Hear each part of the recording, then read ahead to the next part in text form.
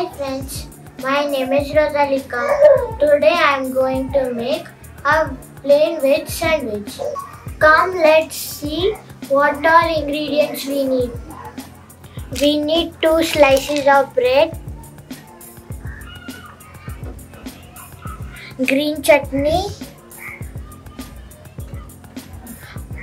butter, onion, tomatoes, capsicum, cucumber and potato.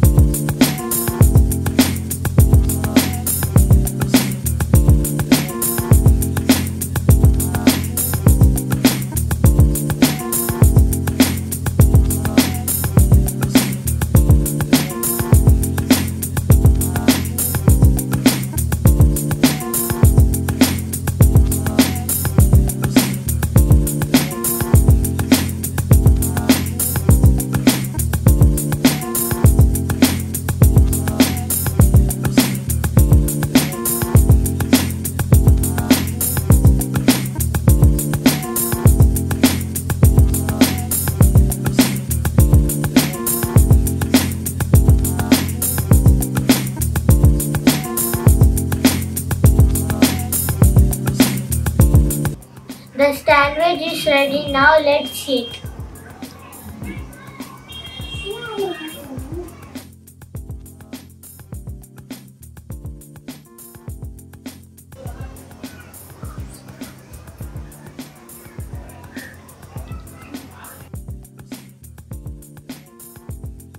Please like, share, subscribe. In the next video, I am going to make a veg grilled sandwich. Thank you.